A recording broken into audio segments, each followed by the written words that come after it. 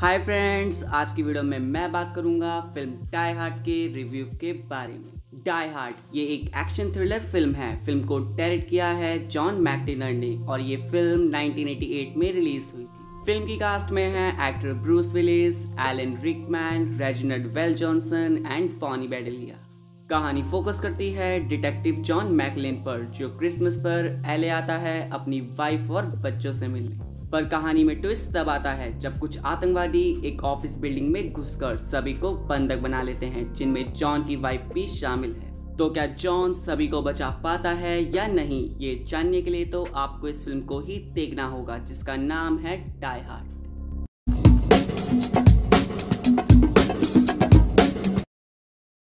तो friends Die Hard series की शुरुआत 1988 से हुई थी, जिसके अभी तक करीब पाँच पार्ट्स आ चुके हैं। और पाँचों पार्ट्स में हमें एक्टर ब्रूस विलियस ही नज़र आए हैं, जिनके बिना ये फ्रेंचाइज अधूरी है। तो अब आपका ज़्यादा टाइम वेस्ट ना करते हुए बात कर लेते हैं फ़िल्म के प्लॉट के बारे में, जो सच में बहुत ही ज़्यादा इंटरेस्टिंग है। जिसे बहुत ही अच्छे तरीके से फ़िल्म में हमारे सामने प्रेजेंट किया गया। जिसके लिए तारीफ़ करनी पड़ेगी फ़िल्म के राइटर स्टीवन इडी सूजा और जैप स्टुअर्ट की, जिन्होंने फ़िल्म की स्टोरी को बहुत ही अच्छे से लिखा है। और वहीं बात करूँ फ़िल्म के डायरेक्शन की तो जॉन मैकटेनन की भी तारीफ़ करनी पड़ेगी, क्योंकि फ़िल्म का डायरेक्शन लाजवाब है। और बात करूँ फ़िल्म के एक्शन की तो फ़िल्म के एक्शन सीन्स को भी बहुत ही अच्छे तरीके से पिक्चराइज किया गया है, जो देखने में अच्छे लगते हैं और फ़िल्म में आपको काफ़ी ज़्यादा पसंद आएँगे।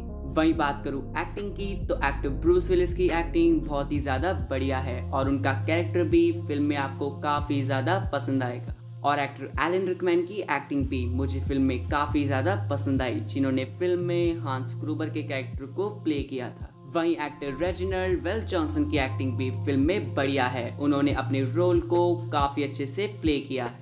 और बात करूँ बाकी एक्टर्स की तो फ़िल्म में उनकी एक्टिंग ठीक ठाक है, क्योंकि फ़िल्म में उनके पास कुछ खास करने को था नहीं। और अब बात कर लेते हैं कि फ़िल्म बाकी मामलों में कैसी है। तो फ़िल्म का बीजीएम अच्छा है, जो नॉर्मल से लेकर एक्शन सीन्स तक पर परफेक्ट सूट करता है। वहीं फ़िल्म की एडिटिंग भी काफ़ी अच्छे से की गई है, या फिर यूँ कहूँ कि एडिटिंग के मामले में भी ये फ़िल्म पूरी तरीके से पास होती है।